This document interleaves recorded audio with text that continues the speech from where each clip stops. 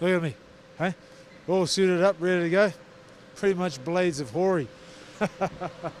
Blades- Hey, you're gonna need this. Thanks, bro. That dreamy eyed European stud, ladies, is Adrian Toth. He's scored 43 times this year.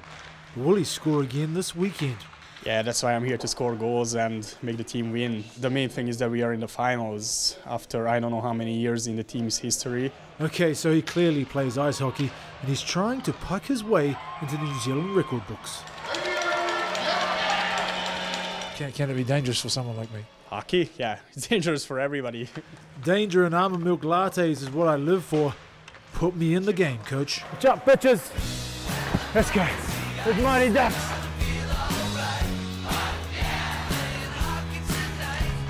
I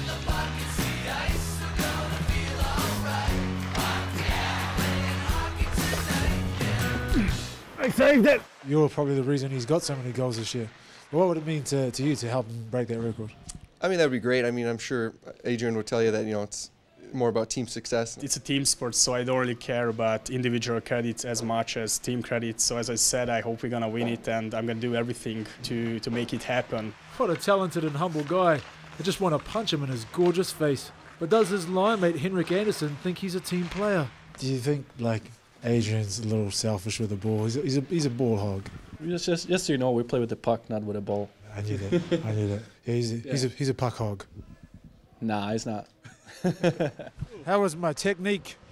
Yeah, it was pretty good. You need a little bit to improve and work on your skating, but otherwise your your catcher was pretty good. Yeah. The, uh, the coach came up to me before and, and said he might have a position for me, but I'm guessing it's somewhere up here scoring the goals. So I, w- I think he would be a great backup goalie, so don't worry about that. Off me. Get off me.